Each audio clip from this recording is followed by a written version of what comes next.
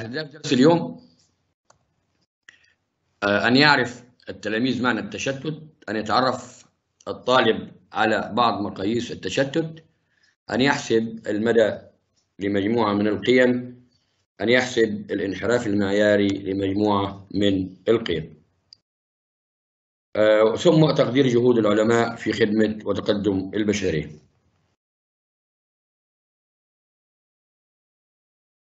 نتناول معا تلخيص سريع لما ورد في الحلقة السابقة من درس تجميع وجمع وتنظيم وعرض البيانات. اتكلمنا في الحلقة السابقة عن جمع البيانات وكانت الحلقة بتدور حول أربع محاور أساسية. أول ما أول محور وهو مصادر جمع البيانات وقلنا إن مصادر جمع البيانات مصدرين مصدر أساسي أو أولي ومصدر فرعي أو ثانوي وبنسميها مصادر أولية اللي هي المصادر الميدانية والمصادر الأخرى بنسميها مصادر ثانوية أو مصادر تاريخية.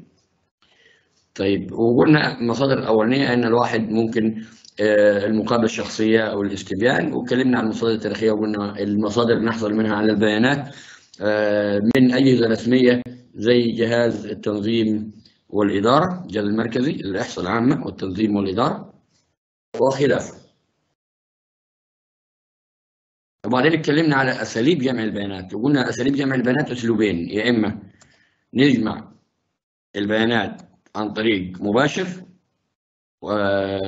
وهو حصر الشامل لكل عين مفردات العينة بمعنى إن أنا لو عندي عينة مكونة من 100 شخص تمام هف هاخد أسلوب الحصر الشامل هسأل ال 100 شخص عن الآراء بتاعتهم أو الاستطلاع. وبعض الأحيان هو الأسلوب الوحيد لبعض الدراسات زي التعداد السكاني مثلا. لو أنا هعمل تعداد سكاني لازم أعمل حصر شامل للمواليد جمهورية مصر العربية على سبيل المثال.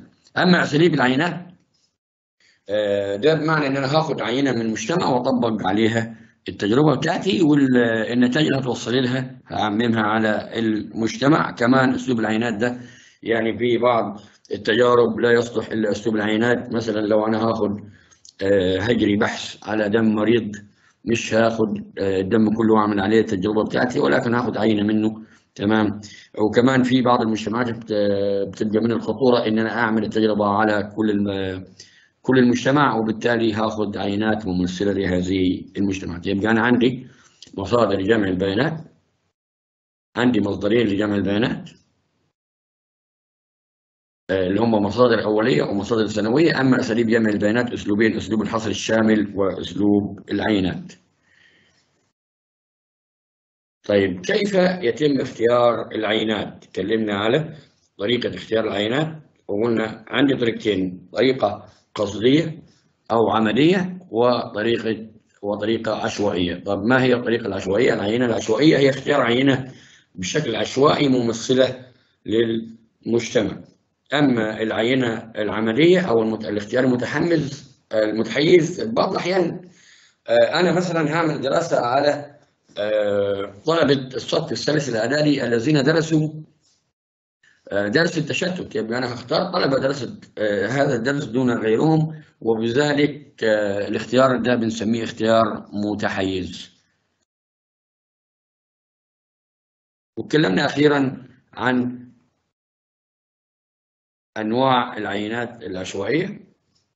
يعني لو أنا أختار عينة عشوائية فأنا عندي نوعين من العينات. العينه العشوائية البسيطة والعينة العشوائية الطبقية. العينة العشوائية البسيطة بختارها مثلا لو عندي مجتمع صغير ممكن أدي كل فرد من المجتمع رقم تمام؟ وأحط الأرقام دي في وأكتب الأرقام على قصاصات من الورق وأحط الأرقام في صندوق زجاجي وأختار.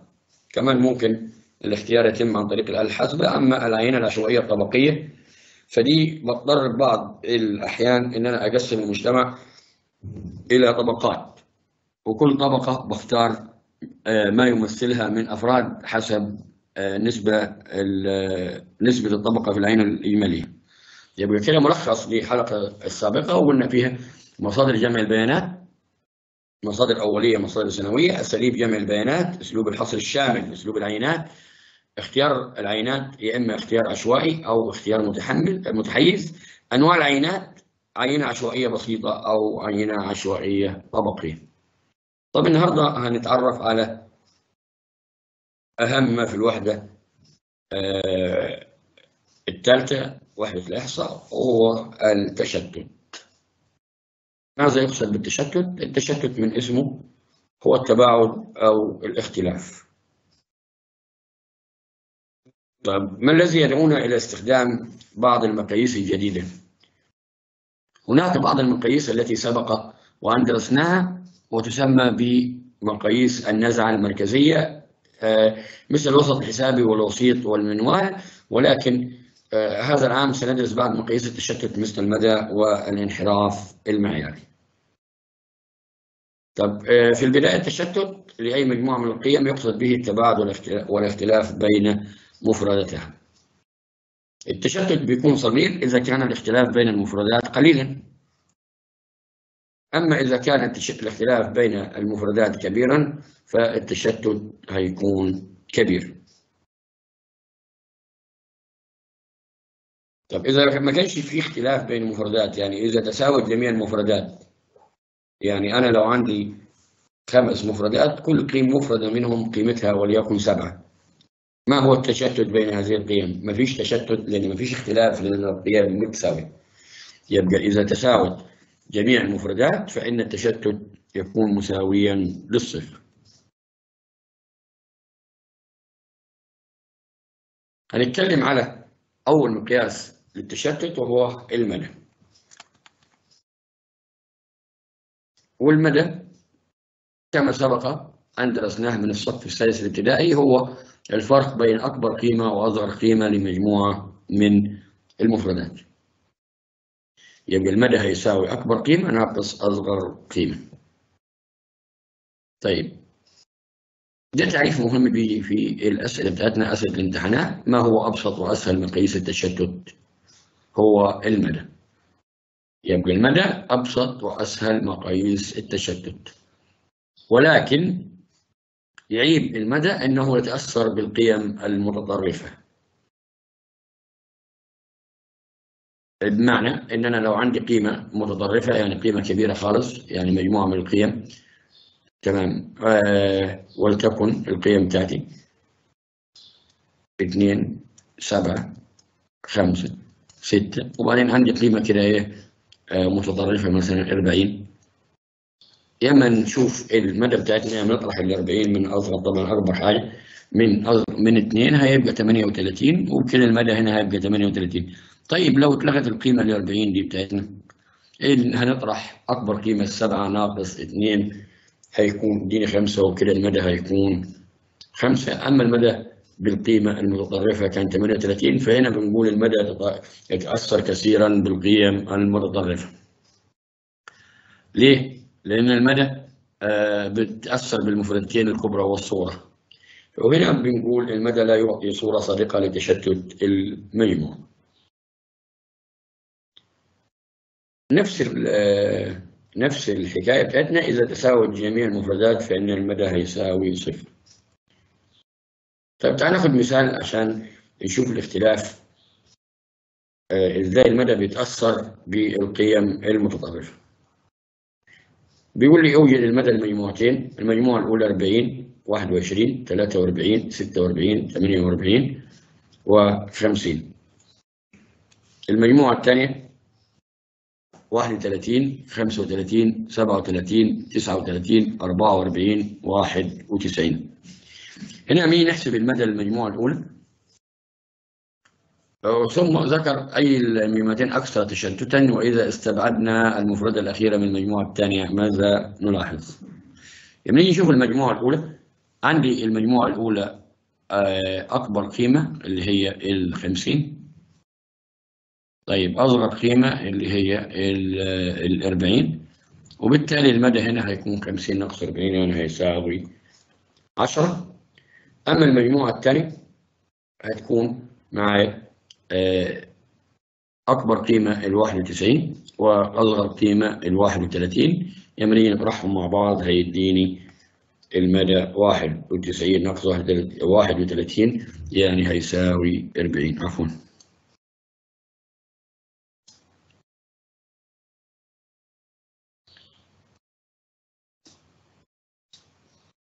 طيب بكده أنا عندي مدى المجموعة الأولى 40 مدى المجموعة الثانية مدى المجموعة الأولى 10 مدى المجموعة الثانية 40 هنا بيقول لي لو استبعدنا المجموعة الأخيرة من القيمة المفردة الأخيرة من المجموعة الثانية. بالتالي المدى هيكون كام؟ أكبر قيمة بعد ال 91 اللي هي ال 44 وبالتالي المدى هنا مدى المجموعة الثانية يساوي 44 ناقص 31 يعني هيساوي حوالي 13 هنا المجموعة الثانية أكثر تشتتا. في حالة الاستبعاد المدى هيكون آه 13 زي ما حسبنا على أساس إن في قيمة 31 ليست 41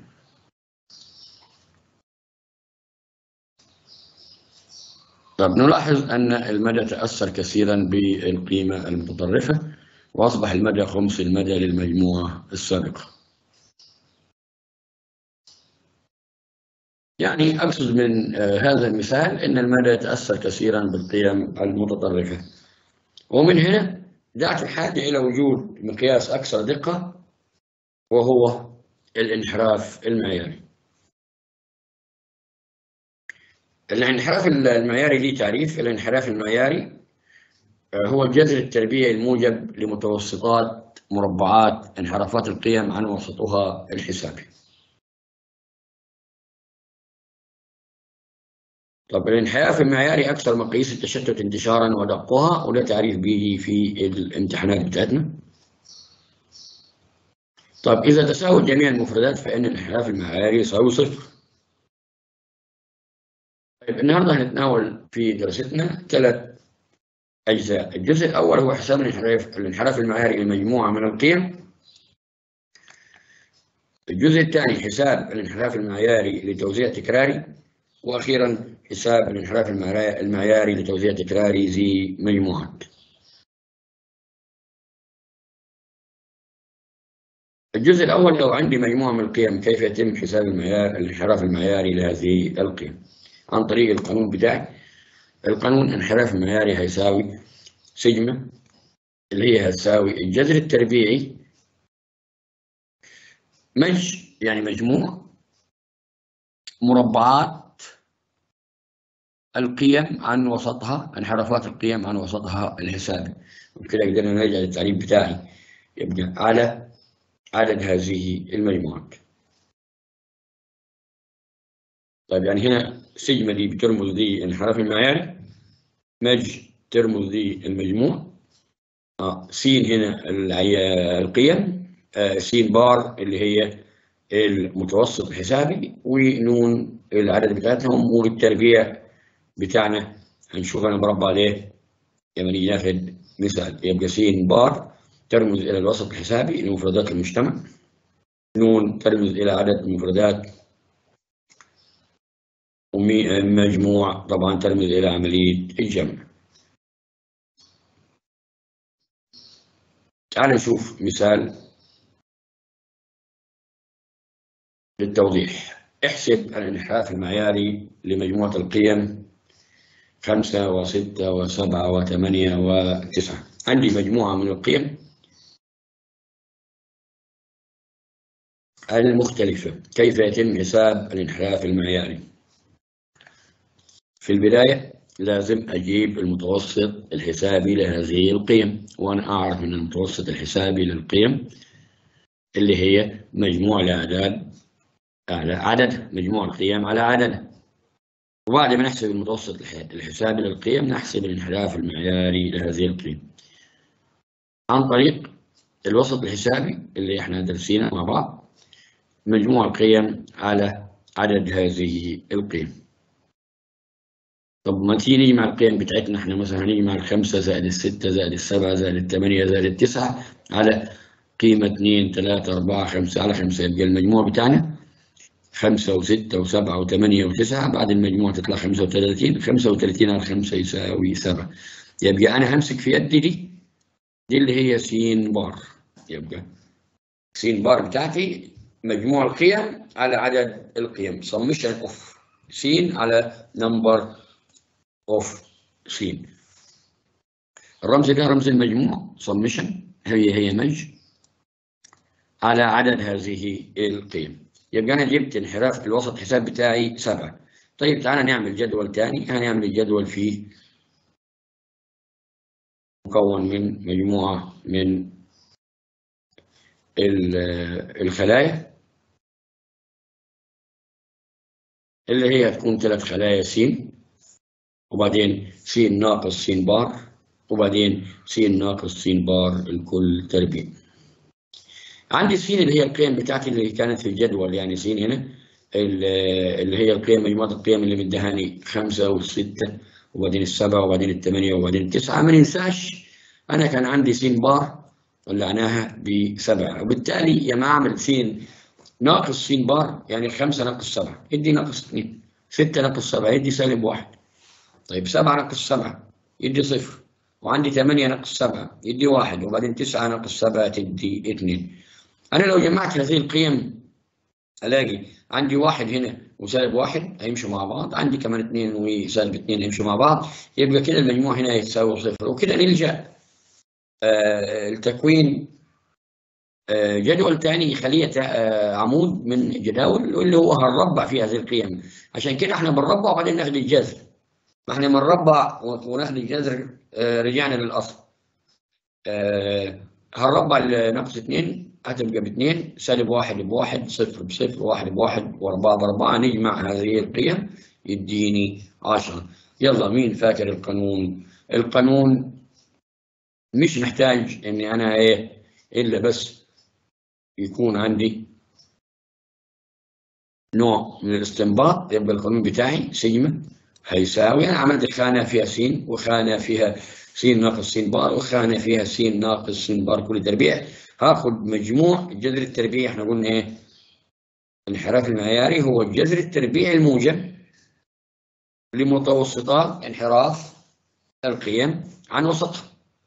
يبقى أنا مربعات المربعات بتاعتي هجمع صف المربعات يديني 10 أو لو كتبت القانون مج مجموع. س ناقص س بار الكل تربيع على نون. يبقى أنا عندي س هنا ناقص س بار تمام مجموعهم 10 والعدد المفردات عندي خمسة يعني 10 على 5 يعني جذر الاثنين. وتعالى نشوف القانون مكتوب إزاي يبقى أنا عندي القانون أنا لو ناسي القانون أقدر أستنتج القانون من خلال تكوين الجدول حاجات بسيطة. مش مستنين طلبة ثالثة إعدادي إنها آه تكون مش حافظة القوانين. يبقى أنا عندي آه سيجما هيساوي الجذر التربيعي المجموع انحرافات مربعات انحرافات القيم عن وسطها الحسابي. على عددها اللي هي إحنا قلنا 10 على العدد 5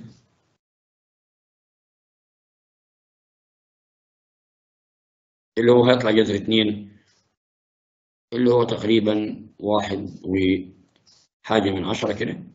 هيكون معاي جذر اتنين هيساوي تقريبا واحد وأربعتاشر من مية.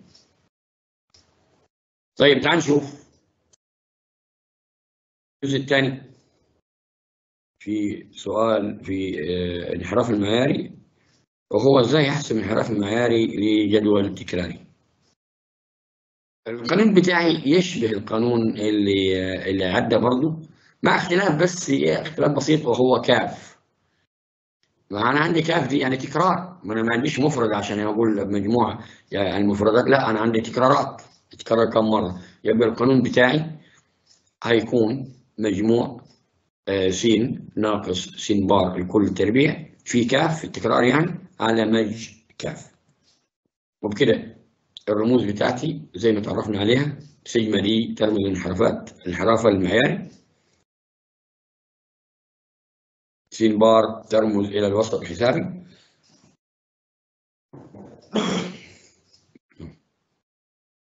وبعدين سين بار إزاي هنحسب سين بار كمان هنا؟ الوسط الحسابي بتاعنا مجموع سين في كاف على كاف واللي هنشوفها دلوقتي مع بعض.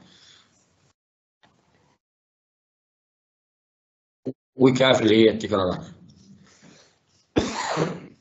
طيب تعال نشوف. لو أنا عندي مثال احله إزاي؟ احسب الوسط الحسابي والانحراف المعياري للتوزيع التكراري التالي. العمر بالسنوات خمسة ثمانية تسعة عشرة 12 والمجموع ثم عدد الأطفال اللي هو التكرار بتاعي اللي الأطفال اللي هم كانوا خمس سنوات عددهم واحد. وبعدين الأطفال اللي هم كانوا ثمان سنوات عددهم اثنين. وبعدين آه العمر بالتسع سنوات عددهم ثلاثة. وأصحاب عشر سنوات عددهم برضه ثلاثة. و12 سنة عددهم واحد مجموع الأطفال كلهم هنا 10 يبقى أنا آخد بالي في الجدول بتاعي عندي تكرارات. يعني الخمسة تكررت مرة والثمانية اثنين والتسعة ثلاثة والعشرة ثلاثة والاتناشر. وبالتالي ما عنديش عدد للمجموعات ولكن عندي كاف. ما هو كاف ده زي عدد القيم. يبقى أنا عندي استبدلت نون بالكاف. طيب تعالى نشوف إزاي هنجاوب على السؤال بتاعنا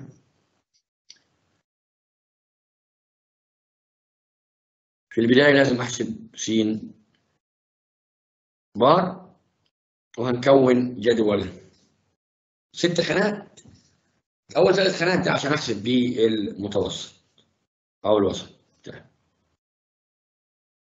الجدول هيكون بالهيئة دي. هنا س هكتب القيم بتاعتي يعني هنا س هكتب إيه؟ يلا خمسة ها؟ وثمانية وتسعة وعشرة واثناشر تحت بعض. يبقى س اللي هي القيم خمسة هتكون هنا وبعدين تتالي لغاية ما نخلص الجدول بتاعي. طيب إيه ثم هكتب التكرارات هنا؟ يعني هي س هنا الخمسة وواحد والثمانية بالاثنين والتسعة بالثلاثة والعشرة بالثلاثة واثناشر بالواحد تحت بعض. وبعدين هضرب السين في الكاف في خانة جديدة معانا هنا. والثلاث خانات دول هطلع أقدر أطلع منهم الوسط الحسابي بتاعي. ما ننساش الوسط الحسابي الحساب بتاعي هيكون مجموع العمود الأخير على التكرار بتاعه. مجموع العديد العمود الثالث الأخير بتاعي ده لأن أنا بحسب أول ثلاث خانات دول هستغل بيهم هجيب بيهم الوسط الحسابي اللي هو س وكاف وس في كاف. ثم هكمل باقي الخانات بتاعتي عشان أجيب الانحراف المعياري بعد ما أجيب الوسط بتاعي هتعامل آه نفس الطريقة السابقة هتبقى س ناقص س بار وبعدين هربع العمود وبعدين هضرب العمود في التكرار. وتعالى نفتكر مع بعض الجدول اللي هو خمسة والواحد والثمانية اثنين والتسعة والثلاثة والعشرة والثلاثة والاثناشر والواحد. هنشتغل فيه إزاي؟ يبقى أنا عندي الجدول بتاعي. أنا كتبت الخمسة بتاعتي. القيم وبعدين ثمانية وبعدين تسعة وبعدين عشرة وبعدين اثناشر هنا هكتب التكرار برضو واحد واثنين وثلاثة وثلاثة وواحد مجموعهم عشرة. هحتاج المجموع ده خلي بالك شوية كده معي وبعدين هاي هضرب الخمسة في الواحد بخمسة الثمانية في اثنين هضرب العمودين هنا ببعض. ثمانية في اثنين ستاشر تسعة في ثلاثة سبعة وعشرين عشرة في ثلاثة ثلاثين اثناشر في واحد باثناشر أجمع هذه القيم. عشان يطلع معايا مجموع القيم مجموع س في كاف بتسعين مفردة يبقى أنا هنا هبدأ أقول له والله طب ده س بار لو نفتكر القانون مع بعض. س بار هيساوي مجموع العمود الأخير كده مجموع س في كاف على كاف مجموع كاف. مجموع صف التكرارات يعني آخر اثنين مع بعض هنا يعني هيكون 90 على 10 اللي هي هتبقى 9 يبقى س بار هيساوي مجموع س في كاف على كاف. يعني س بار هيساوي 90 على 10 هيساوي 9 أنا كده حسبت س بار. أكمل باقي الجدول بتاعي. حل عادي. يعني أنا عندي أنا عندي السين بار 9 كده هنا معي في يدي. هتبقى هناخد 5 ناقص 9 اللي هو يساوي سالب 4 وبعدين 8 ناقص 9 اللي هي تساوي سالب 1 وبعدين 9 ناقص 9 اللي هو يساوي 0 وبعدين ال 10 ناقص 9 يساوي 1 وبعدين ال 12 ناقص 9 هيساوي 3 وبكده أنا عندي العمود بتاعي اتكون سالب 4 وسالب 1 وصفر و1 و3 هنربع العمود ده؟ في عمود جنبه س ناقص س بار لكل تربيع هتبقى 16 1 0 1 9 اللي أنا ربعت اللي ناقص سالب 4 وربعت السالب 1 وربعت الصفر وربعت 1 وربعت الثلاثة وبعدين هضرب عشان في تكرار معاي. عن الخانة جبت عمود جديد تاني اللي هو طبعا التكرارات. يبقى هضرب التربيع بتاعي في التكرارات يعني 16 في الواحد 16 طب واحد في الاثنين باثنين. طيب هضرب هنا الثلاثة هنا الثلاثة في الصفر بصفر. بعدين هضرب الثلاثة في الواحد ثلاثة. بعدين هضرب الواحد في التسعة بتسعة واجمع الصف بتاعي اللي هو 16 والاثنين والصفر والثلاثة والتسعة. هيدوني 30 وبكده تاني جمعة أو ثالث جمعة يبقى أنا عندي هنا 30 هقسمها على طول على العشرة وأحطها تحت الجذر تديني سجمة بتاعتي. يعني سجمة هنا إيه؟ لو أنت القانون مش حافظه حافظ ترتيب الجدول بتاعك عارف اللي طلع العدد اللي طلع هنا هيتقسم على العشرة. يبقى 30 على 10 فيها الثلاثة يعني الإجابة بتاعتي جذر ثلاثة اللي هي هتكون واحد وي شوية واحد وي سبعة من عشرة أو ستة من عشرة. ونشوف مع بعض القانون بتاعي مجموع س ناقص س بار الكل تربيع في كاف على مجموع كاف. يعني البسط هنا اللي هو الخانة دي مجموع الخانة دي اللي هي هتبقى من 30 أما مجموع كاف اللي هي العشرة. يعني الإجابة بتاعتي هتكون جذر ال 30 على العشرة اللي هي معاي هتكون جذر الثلاثة وجذر الثلاثة معاي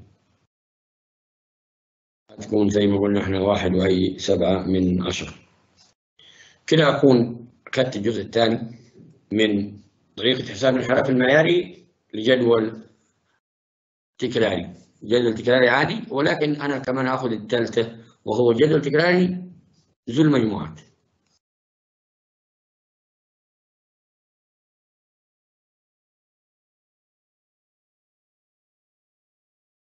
يبقى إحنا برضه هنستخدم نفس الطريقة السابقة والقانون بتاعي. مج س ناقص س بار تربيع على كاف في كاف مقسومة على مجموع كاف. ولكن بس في اختلاف هنا بس. اختلاف إن السين هنا اللي هي القيم اللي كانت في الجدول س دي كان في الجدول السابق عبارة عن قيم. لا هنا مش هتبقى قيم. لأن أنا ما عنديش آه اللي هي كانت المجموعات يعني. لا أنا هنا عندي مجموعات. مش هقدر أقول والله الجدول ده فيه قيم خمسة وستة لا ده في مجموعات من خمسة إلى 10 إلى 20 إلى اللي هي الجدول اللي ذو المجموعات بتاعي. آه للتوضيح أنا كان الجدول بيجيني مثلا جدول كده. فمقول مجموعة 10 إلى المجموعة 20 إلى المجموعة 30 إلى اللي هو الجدول التكراري المجموعات وهنا أنا ما أقدرش آخد ال 10 وال 20 لا هاخد حاجة اسمها اللي هي إيه؟ سنتر المجموعة أو مركز المجموعة يعني 10 إلى 20 إلى 30 إلى المجموعة الأولى الحد الأدنى بتاعها 10 والحد الأعلى اللي هو ال 20 والسقف المجموعة يعني وهنا بنقول 10 زائد 20 عشان نحسب نحسب مركز المجموعة الأولى 10 زائد 20 على 2 يعني المجموعة الأولى مركزها 15 ثم نمشي على طول بالعشرة تبقى 25 زي ما هنشوف مثال لكن أنا بفكرك وبفكر نفسي إزاي الجدول بتاعي اللي هو جدول تكراري ذو المجموعات مقصود به الجدول ده. وهنا هتكون س هنا مش مش هناخد ال 10 و20 هناك مركز المجموع. يبقى الاختلاف هنا إن س بتاعتي اللي هتكون في الجدول هتكون مركز المجموعة وبكده هتزيد عليها خطوة. ممكن أعمل خطوة مباشر.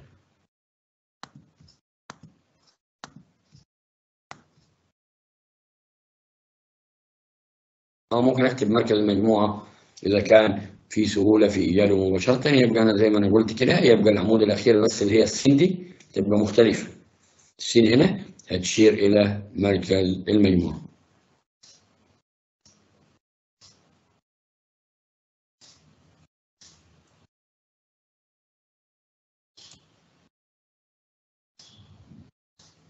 طب وقلنا مركز المجموعة الحد الأعلى زائد الحد الأدنى مقسوم على اتنين طيب ما تيجي نشوف مثال عشان المعلومة تثبت؟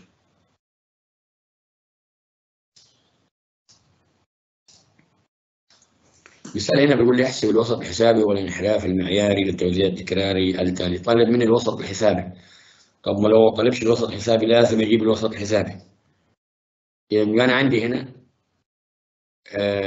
مجموعة الأطفال العمر بالسنوات من صفر إلى من عشرة إلى من عشرين إلى من ثلاثين إلى من أربعين إلى خمسين. عدد الأطفال اثنين وخمسة وحداشر وخمستاشر وسبعة. المجموعة الأولى يعني المجموعة الصفر إلى أقل من عشرة. فيها اثنين. المجموعة الثانية مجموعة العشرة إلى أقل من عشرين. عدد أطفالها خمسة. المجموعة الثالثة من المجموعة 20 إلى أقل من المجموعة 30 عدد أطفالها 11 المجموعة الرابعة المجموعة 30 إلى أقل من 40 عدد أطفالها 15 المجموعة الخمسة اللي هي من 40 إلى 50 ودي لازم المجموعة نكفلها هنا بالحد الأدنى بالحد الأعلى. عدد أطفالها سبعة. لو جمعنا التكرار عدد الأطفال كلهم كده التكرارات بتاعتها بتكون 40 طفل تعال نشوف إزاي نجاوب المسألة دي. يعني في البداية لازم نحسب الوسط الحسابي. آه للأطفال دي وقبل ما نحسب الوسط الحسابي نكتب المراكز المجموعات بتاعتنا. مركز المجموعة الأولى المجموعة الأولى صفر. يبقى زائد 10 الحد الأدنى زائد الحد الأعلى على 2 اللي هي هتبقى فيها 5 ومركز المجموعة الثانية هتبقى 10 زائد 20 على 2 يساوي 15 واشوف هنا طول المجموعة المجموعة ماشية بالكام يعني؟ طول المجموعة بالعشرة. يبقى خلاص المراكز برضه هتزيد بالعشرة. يعني أنا لاحظ 5 15 المجموعة الثالثة تبقى 25 المجموعة الرابعة 35 والمجموعة الخامسة 45 يبقى أنا مقصود مركز المجموعة العدد اللي في الوسط يعني أنا عندي هنا 10 لحد 20 يبقى مين في النص؟ هنا 15 يبقى مركز المجموعة الثانية 15 برضه بالمثل مركز المجموعة الأولى من صفر إلى 10 يعني أنا عندي بادئ بالصفر ومنتهي إلى أقل من 10 يبقى في النص خمسة. يعني كده مركز المجموعة يعني أنا كده ممكن بعيني أجيب مركز المجموعة على طول. مركز المجموعة هنا دي خمسة مركز المجموعة هنا 15 هنا مركز المجموعة هنا تبقى 25 هنا ال 30 تبقى 35 كأني بزود عليها خمسة هنا تبقى مركز المجموعة 45 يبقى أنا هشتغل على مراكز المجموعة اللي هي الجدول بتاعي لما أجي أكون الجدول بتاعي زي ما اتفقنا. أول ثلاث خانات هنحسب بيهم الوسط.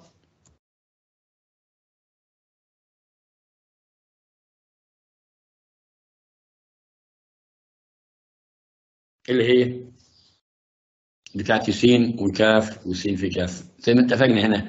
السين هنا المجموعه لو كانت بادئه بالصفر لا هناخد المركز بتاعها. اللي هي 5 15 25 35 45 ثم كاف التكرارات مش هتغير اللي هم كانوا 40 تلميذ وبعدين هنضرب الخمسة في الاثنين. وخلي بالك المسائل دي أرقامها بتبقى كبيرة نوعا ما. خمسة في اثنين تديني 10 طب 15 في 5 تديني 75 هنا 25 في 11 تديني 275 هنا 35 في 15 تديني 525 هنا 45 في 7 تديني 315 لما اجمع دول معاي تدي 1200 يلا نفتكر مع بعض إن أنا الثلاث خانات دي بجيب بيها إيه الوسط حسابي هقسم ال 1200 على 40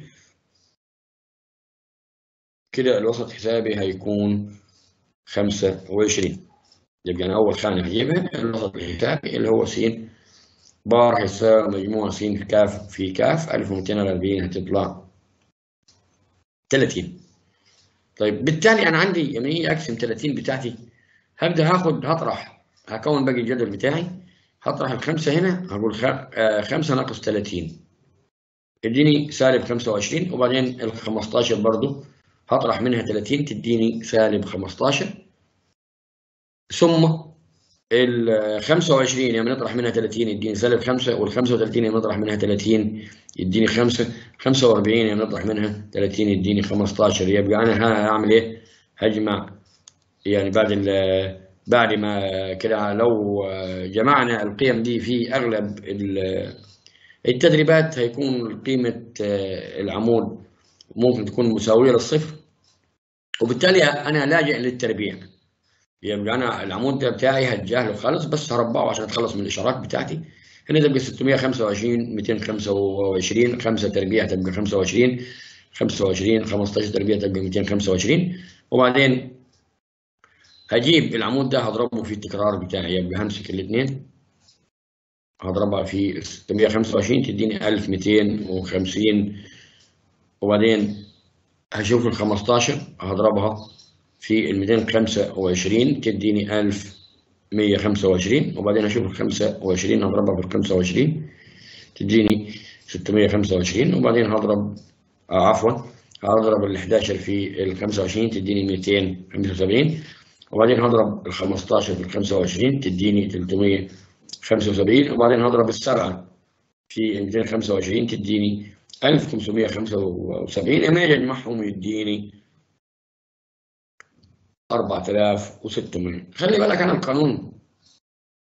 أنا طريقه الحل بتاعتي هتذكرني بالقانون. اللي المجموع العمود ده هقسمه أكيد على التكرارات وأحطه تحت الجذر التربيعي يديني الانحراف المعياري بتاعي.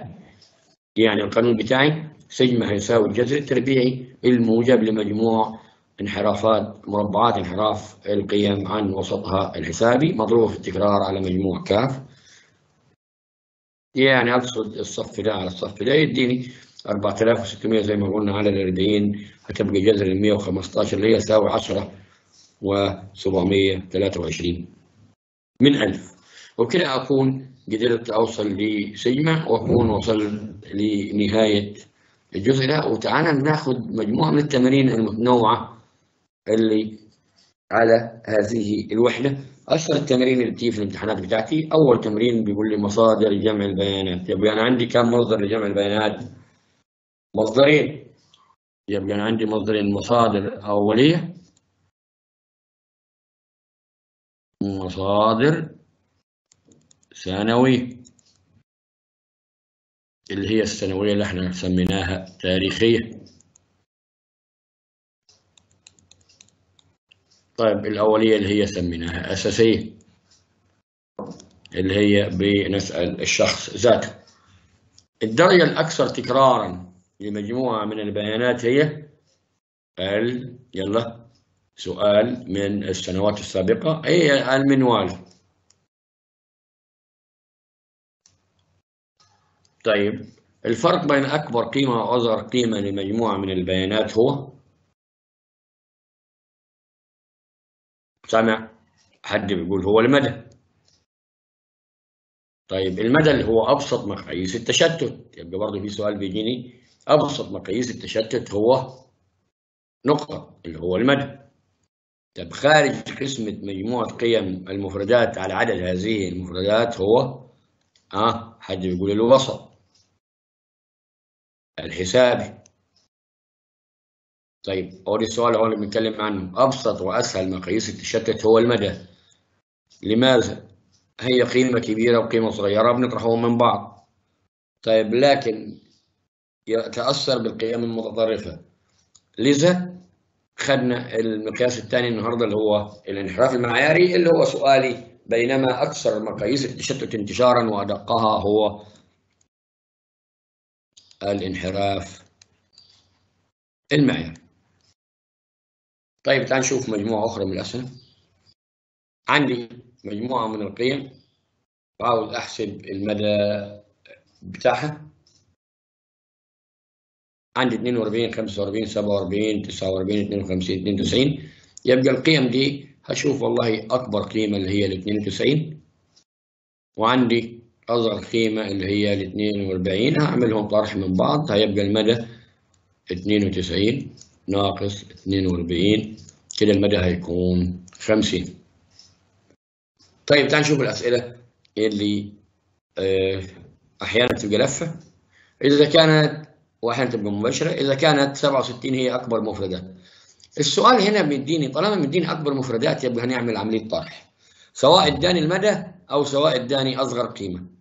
طيب يعني هنا هيقول لي والله 67 دي أكبر مفردات ومديني المدى هطرحهم من بعض يديني أصغر قيمة يبقى هيكون عندي 67 ناقص 27 تعطي 40 طب العكس لو مديني أكبر المفردات وأصغر المفردات برضه هطرحهم من بعض يديني أصغر المدى. أما لو طالب مني أكبر المفردات هيكون مديني المدى وأصغر مفردة وبالتالي هجمعهم مع بعض. ثلاث أسئلة مرتبطين ببعض. يبقى أنا عندي الثلاث أسئلة يجاوبوا عن طريق عملية الجمع أو الطرح. لو مديني أكبر مفردة يبقى هطرح لو طالب أكبر مفردة يبقى هجمع القيمتين اللي هدهم هنا بيقول لي الوسط الحسابي للقيم. والله الوسط الحسابي مجموع القيم على عددها. يبقى اللي هي س بار هيساوي جمع القيم سبعة زائد ثلاثة زائد ستة زائد خمسة زائد تسعة زائد خمسة. على كم قيمة؟ قيمة اثنين ثلاثة أربعة خمسة ستة. على ستة. يبقى نشوف دول سبعة وثلاثة عشرة مع بعض. وعندي هنا عشرة كمان. يبقوا عشرين. وخمستاشر يبقوا خمسة وثلاثين. على إيه؟ خمسة وثلاثين على قيمة اثنين ثلاثة أربعة خمسة ستة. على ستة اللي هي هتكون حوالي خمسة. ويفضل معنا خمس أسداس آه حوالي أربعة وحاجة من عشرة كده حاجة من مية خمسة وأربعة من عشرة. طيب نشوف آه حاجة تانية الجذر التربيعي الموجب لمتوسط مربعات انحرافات القيم عن وسطها الحسابي إحنا خدنا التعريف ده تعريف كبير وهيجيني بس يديني التعريف يبقى أنا أقول له والله التعريف بتاعي درس النهارده اللي هو الذي درس اللي هو في الانحراف المعياري الانحراف المعياري أدق مقاييس التشتت. سؤال ثاني بيقول لي مركز المجموع التي حدها الأدنى 50 وحدها الأعلى 70 نجمعهم ونقسمهم على الاثنين يبقى الحد الأدنى زائد الحد الأعلى على 2 يديني مركز المجموعة يعني 50 زائد 70 على 2 اللي هم 120 على 2 اللي هو يساوي 60 ولو طالب فاهم كويس يعني هيبص هنا ال 50 وال 70 عاوز العدد اللي في الوسط بالظبط بينهم اللي هو ال 60 يبقى سنتر المجموعة أو مركز المجموعة هيكون 60 وتعال نشوف يكون التشتت كبيرا إذا كانت الفروق بين القيم. كبيرة.